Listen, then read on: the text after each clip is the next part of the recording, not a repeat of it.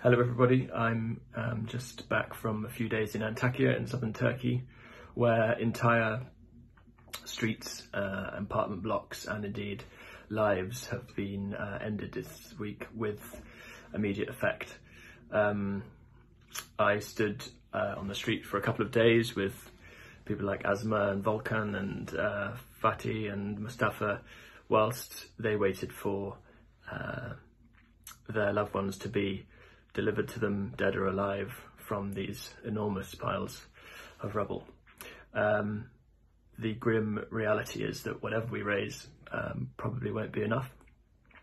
but that um, every pound that you've given is likely to be the best spent emergency pound that